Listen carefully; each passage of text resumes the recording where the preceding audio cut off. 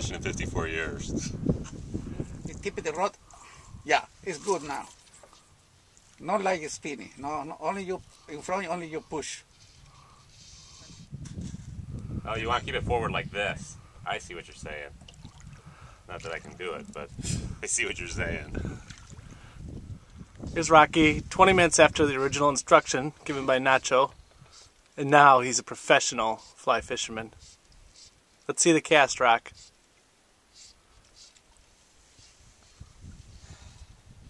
Pressure.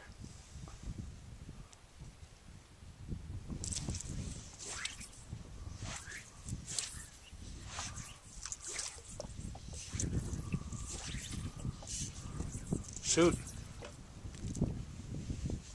Beautiful. Well, that was it. Go ahead.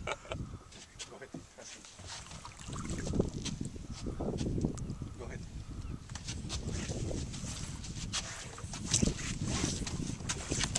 Strip, strip.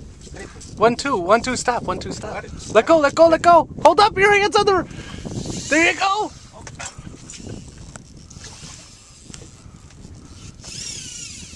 Just let him run.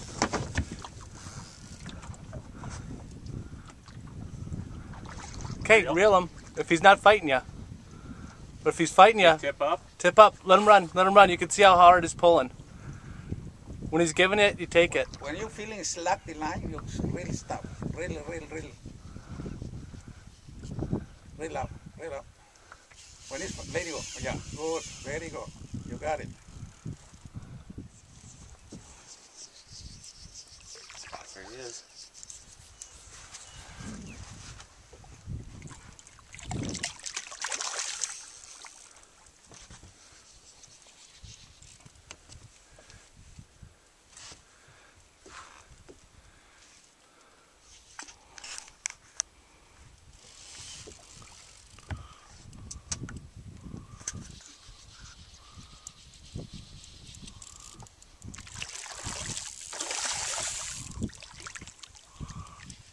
Don't rush him.